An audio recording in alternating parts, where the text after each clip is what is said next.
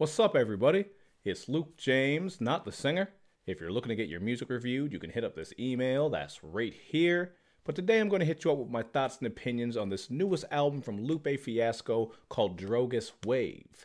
Now, Lupe has been a staple in the game since around 2006 when he dropped the great album Food and Liquor, but he has definitely had his ups and downs over the years. So, for a couple of examples, he's had albums like Lasers and Drogas Light receive plenty of mixed reviews. These ones weren't critically acclaimed, and when you ask people about them, there's usually quite a big divide. But on the other hand, he has had critically acclaimed albums like Tetsuo and Youth and also The Cool. But no matter how you want to slice it, even on some of those more questionable albums, he was always known as a top tier spitter. He's always bringing the bars, he's a great lyricist with plenty of themes and concepts, so he's not a rapper who's a slouch. And you know what? I didn't like that last project of his, Drogas Light, but I was really hoping he would come back with this one, and god damn it, he definitely did that. He has erased all my doubts about him as an MC. Not to say, like, you know, not to say I completely doubted him off the strength of that last album. That one just was an album of his I really didn't like, although I did like some of his past work. But, you know, this one just really reminded me of how great he can be. So, I was a little bit worried at first because one of the first songs, Drogas, has him speaking in Spanish, and I also saw that this project was over an hour and a half in length. Once you see that, you always feel a little bit of a red flag coming on the play because that's so long. It is just very hard to make an album that long and make it great, but this is coming out as a double disc as far as physical copies go. So, in that instance, you know, you are getting a bit of a split here. There are plenty of themes and concepts, and I just like when a long project is split up into two like that because it helps you take it all in. You know what I'm saying? It's not just one long project crammed together like a 25, 30 track mixtape or something like that. So, you know, there are plenty of great themes and concepts on this, and I think the production here is very smooth and cohesive. For just a couple of examples, I love the Tribe Called Quest vibe and flute performance from uh, her name is Alina Pinderhughes on Cripple. You get a hazy 90s boom bap vibe with Happy Timbuck2 Day. This is a celebration of the life of the DJ called Timbuck2. He's from Chicago, I believe. And the singing features throughout this album just fit perfectly. You're not going to get crappy pop hooks on here, kind of like what Eminem was known to do on some of his past projects. I just felt like the vocalists here were much better and they fit the tracks better. You got Nikki Jean popping up on a bunch of tracks. She's someone who has worked with Lupe in the past, including on the song Haile Selassie, which is featured here. And even though the song is from 2014, it still fits in nicely with this project. Very smooth beat, and I don't think it felt like it was out of place. But I really want to start off by speaking on the songs Manilla, Gold versus The Right Things to Do, WAV Files, and Down.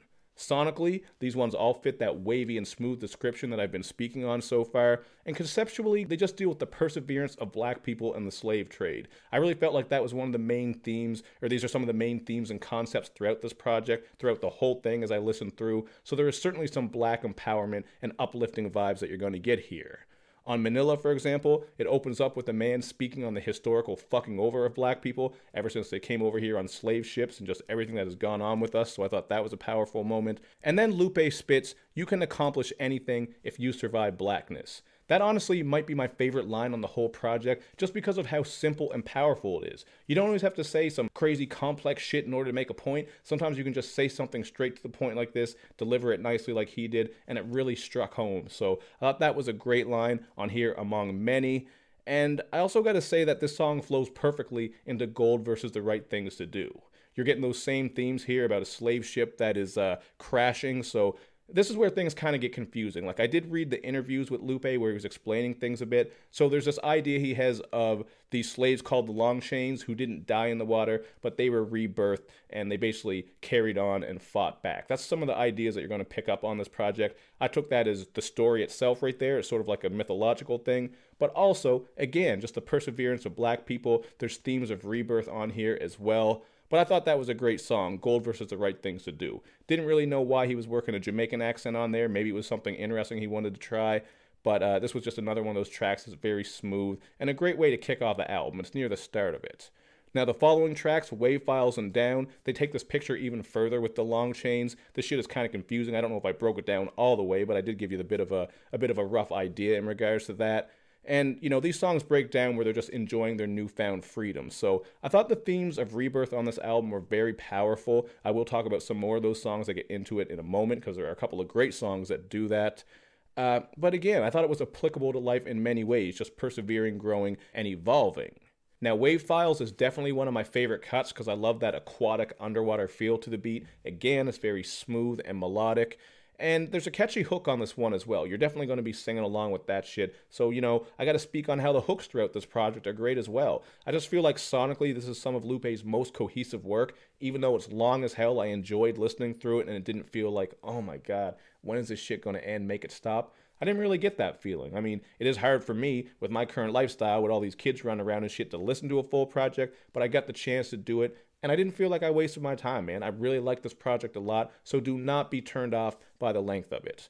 I'm getting a bit off track here, but that's kind of how this project is. This review is a little bit all over the place because that's what you get with this album. Well, not that it's all over the place, but it's very long and there's a lot to speak on, I should say. It's not sloppy or anything like that. This just, you know, I'm just attacking this from many different angles. So uh, I want to come back to the song Down. The hook on this I did find kind of silly because, again, it's coming back to the idea of the long chains being underwater. They're singing about lobsters, seahorses, and crabs being their homies. I get the idea of it, and still sonically, this was very smooth, but I felt like that was kind of silly, you know what I'm saying? Just felt like some Little Mermaid shit where they're under the sea under the sea. I could delete that part. Maybe I'll leave it just because I'm, I'm just feeling that type of way, man. It's late at night. I'm just getting my shit done. Whatever, man. You can cringe along with me if you want. We're going to keep it moving uh, with some of those rebirth themes that I brought up. Uh, you're also getting the themes of water with this song I'm about to speak on. Speaking of water. There we go. Cool and casual. Um, on the song Alan Forever, I thought this was a very powerful track, man. This one actually had my tears getting kind of sloppy, man. It felt like I was about to cry and shit. Just a very powerful track. Um, it's all about Alan Kurdi, the three year old Syrian child who obviously you probably saw that picture on the news when he was found face down, drowned. Just a very horrendous picture, very sad moment all around. But what Lupe has done with this song is he just started to rap about the idea of Alan Kurdi getting up, he actually didn't drown, and just him living his life. Just the idea of what he could have gone on to do, because we all have that potential when we're children. It is just unbelievably sad how his life was cut short. So this track is just, it's really sad and beautiful at the same time, you know what I mean? It'll get you in your feelings, and yet you feel that sort of glimmer of hope just in the sense that maybe we can just learn from this, learn from other horrible things that have gone on, just so it doesn't go on again. But I thought there was great storytelling on this, just the idea of him surviving and continuing to go on. He even becomes a lifeguard in this track, so you're getting all these water themes. You know, Alan Kurdi, obviously, like I said, was found on that beach. It all just ties together, man. A lot of these songs tie together in one way or the other. So I think that's really dope. Some people might find it kind of scattershot, but I think the more you listen through it and pick up on the themes and concepts, the more it's all going to stick to you. So Really loved that track. It was beautiful. Uh, just an example of Lupe's god tier songwriting ability. And Jonylah Forever is in the same vein. This is about a six month old child who was killed in Chicago, and he is just reimagining what her life could have been had she been given the chance. So these are great tracks. Love those themes of rebirth. Hopefully, we can all learn from these things. Very dope track. A very dope album, man. Just to throw that out there again. So, Based on all the tracks I've spoken on already, you are getting some different themes and concepts, and Lupe is just showing you that he can do all these different things. He's really showing you his lyrical ability. The flows are great. Obviously, you're going to get countless bars and clever lines all over this thing. Like, I could spend forever breaking them down because you know how Lupe do. But I just wanted to focus on the themes and concepts. I've said those words so many times, but I wanted to focus on that because that's what really stuck with me and I thought was impressive. But, you know, for just a couple examples of crazy Barfest, you can check out uh, Mural Jr. Not a couple of ideas, but I mean, there's one song you can check, Mural Jr., for just one example. Um, you know, that's a great track. That's on the end of it. Obviously, it's a throwback to his song Mural. That was a long ass song where he was just going off on Tetsuo and Youth. So this is a junior version. You know what I mean? You got Donkey Kong, then you got Donkey Kong Jr., you got Mural, and you got Mural Jr. But another track that I think is great is Imagine. On this one, he's just reminiscing on his come up in the rap game and basically saying that he wouldn't change a thing despite the drama that he went through. We all know he had some label troubles and other bullshit, but this was a cool track because it was a bit more simple compared to some of the more complex themes and ideas. He's just telling you about the rap game, what he went through, and how he wouldn't change it, so I thought that was dope. Then on Stack That Cheese, he actually raps from the perspective of an upcoming rapper who will just do anything to make it, because their whole idea is that if they make it, then everything's going to be fine. They're willing to do anything to make it, posting wild all over IG, showing off, doing crazy shit that we see rappers do. So, you know, I think these songs also sort of tie in with the idea of slavery. Not that literal slavery, but just the idea of maybe when you're trapped to a label or when you're trapped within yourself, just going out of pocket, trying to do anything you can to make it and prove to people that you are somebody greater. You know what I mean? Like so many rappers who are showing out, just that sort of thing.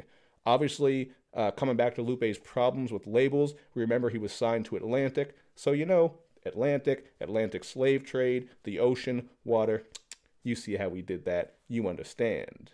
I just really think Lupe's ability to spit from other perspectives and tell stories, it, it has always been incredible, but on this album, he's really flexing that. And I think I might even like this album just as much, maybe even a little bit more than Tetsuo and Youth. I'm still listening to this. There's no way I'm going to be able to break down every single thing. Like I could sit with this for weeks before I do my review, but I've listened to it enough that I picked up on some of the things. You guys can fill in the blanks, tell me where I'm right or I'm wrong based on what your opinions are. I just love it sonically, and I am picking up on a lot. So, you know, I know what I'm going to rate it, which I'm going to get to in a minute, and I know that it's dope. But just to wrap up a couple last things, I wanted to say King Nas was a really dope song, but it did kind of surprise me because I expected this to be about Nas himself, maybe some sort of biography or just showing love to him, but it has to do with Lupe's nephews and how they just have to grow up and become men. He's just kind of giving them some advice, you know, telling them to steer clear of certain things in the streets, play it safe. At least that's what I took from it.